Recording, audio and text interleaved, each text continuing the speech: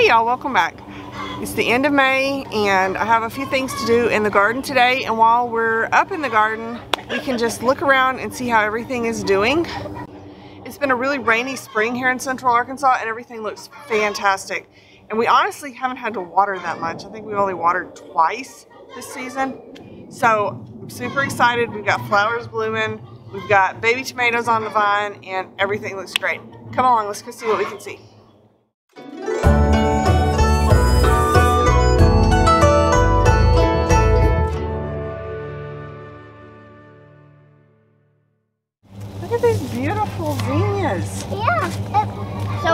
Was so pretty. uh, so we had 13 of them when I was counting them before. I missed this one right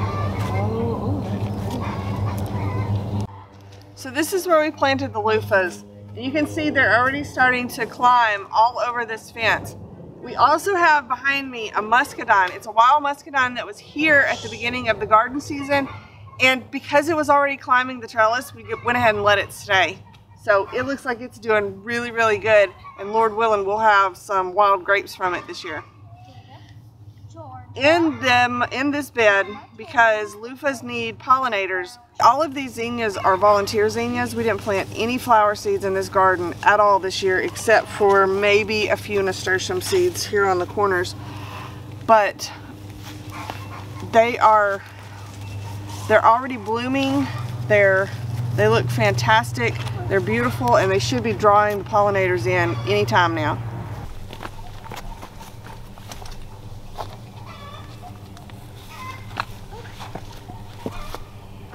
Oh, zinnia, zinnia. What?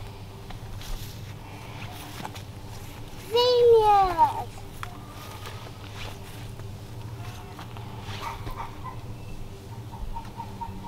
The thing I love about zinnias is that they are so pretty at every stage.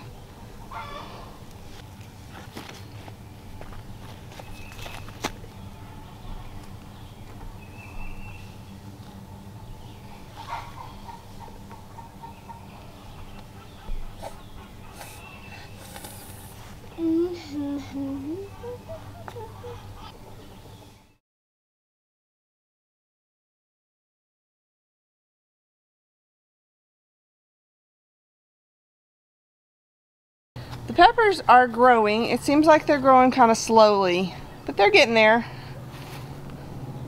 We've actually harvested a couple of shishitos and I don't know what that pepper is right there, but it looks like it might be close.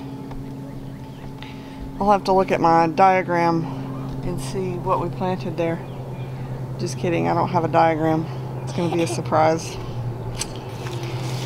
The shishito peppers have been very prolific already. We've harvested several of them and cooked with them. I mean, they taste delicious. They're not spicy at all. And just look how many is, are already on this particular plant. And there's more blooms. These things actually started putting off peppers before I ever got them out of their solo cups. This is the first potatoes that we planted and it looks like they're getting close to being ready to harvest. I think I think there's probably been a turkey right in the middle of them. Thanks for clucking. I think there's been a turkey or a chicken right there in the middle. In this bed, I actually planted some dormant strawberries, but I think I left them in the package too long and they're not even attempting to grow. So I went ahead and just poked some zucchini seeds in just to see what would happen. And they finally started growing and they're looking really, really good. I think there's eight or nine seeds, eight or nine plants in there. So if they actually grow and make zucchini, then we're gonna have a lot of zucchini. I also planted some zinnias in here with it because zucchini, is another one of those plants that really needs the pollinator help. Um, without the pollinators, the female flowers will just die or you have to come out and manually move the male pollen to the female flower. We do have some weeds in there. I need to pull out some of those. Looks like we have some pokeberry plants coming up. Those things are everywhere. Here's the container potatoes. They look really good. I think they have a little bit longer to go than the in-ground potatoes. Um, I see one flower back there. They did bloom, but it looks like there may be still, some of them are still trying to bloom. I think these got healed up a little bit better, so we might have a better yield over here than what we have in the in-ground bed. Here's our little fairy garden. What do we have planted in the big stump at the back? Nasturtiums. And what do nasturtiums do? So they bloom really pretty flowers. What kind of animals especially like nasturtiums? Bees. Hummingbirds. Oh yeah. Because they make kind of a trumpet shaped flower and they're perfect for little hummingbirds to get their beaks in.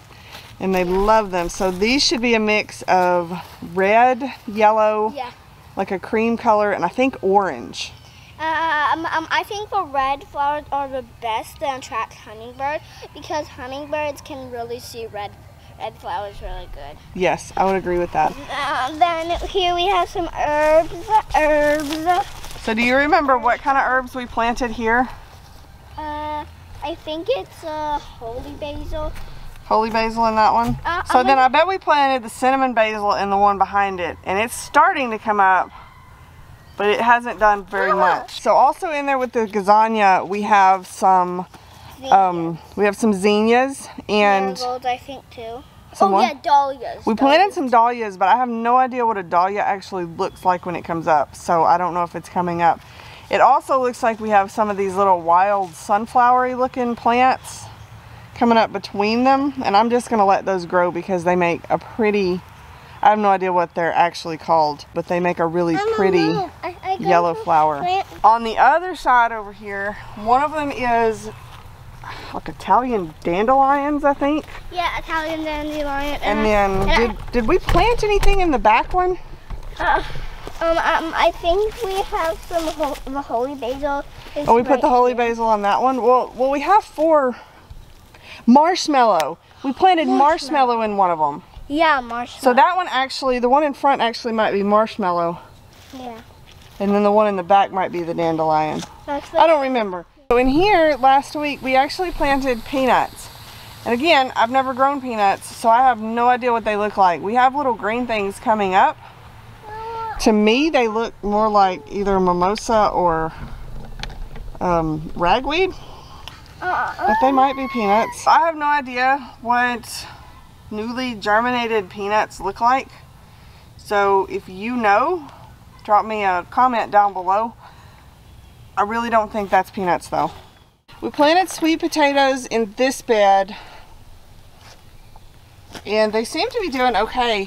A lot of my plants out here this year have these little holes in the leaves but we've had a lot of storms, so I don't know if it's bug damage or if it has hailed, and I just didn't realize that it had hailed.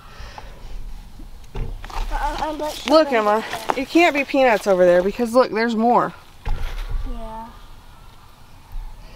I don't know what it is. Oh well. And we are training the sweet potatoes to grow up this arch. They seem to be doing okay. Yeah, um, uh, um, this one is especially doing. Yeah, that one's doing really good. I can Yeah. tell that's definitely new growth. uh, uh, uh, climbing. It is, leave it alone. Yeah. This is the bed where we planted the blackberries. You're supposed to wait until they're dormant to move them. We did not. However, they seem to be doing just And- fine. A lot of pokeberries. Yes, there's a lot of pokeberries in there. Mama really Yeah. needs to get up here and, Yeah. and weed all of these garden beds. Yeah. It's supposed to be cooler in the next couple of days, so if it's not raining, I'll get up here and do that. Blackberries are doing so well that this tall one at the end has actually got new growth on it. And it has a couple of blackberries, so I'm really excited to see how well these do next year. I think we will probably wind up having to put some sort of trellis up. Blackberries tend to grow and spread and get really floppy. On this side of the trellis, behind the blackberries, we have some pie pumpkins and some candy roaster squash that we're hoping will climb the trellises. The pie pumpkins are actually a long kind of pumpkin and they're supposed to be really sweet. We grew pumpkins last year, but we only got, I think, two pumpkins off of it and they had worms in them. So, Yeah. so hopefully this year will go better. These are tomatoes and this is actually what I need to work on up here. We put the trellis up, just a straight, straight fence panel down the middle. They're looking really, really good, but I think I waited too long on a lot of them. All I'm gonna do on these is I'm just gonna lift them up and support them.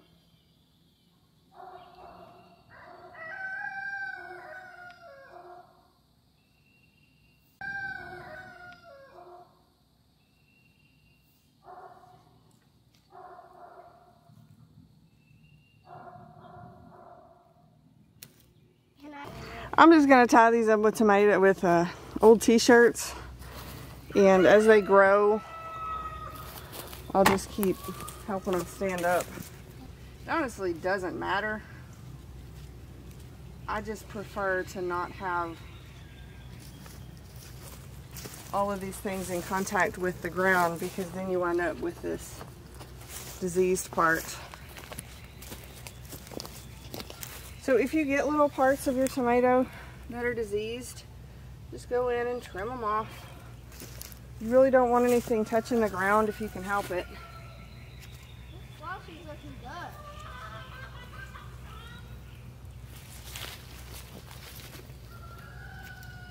But this will help keep it a little healthier.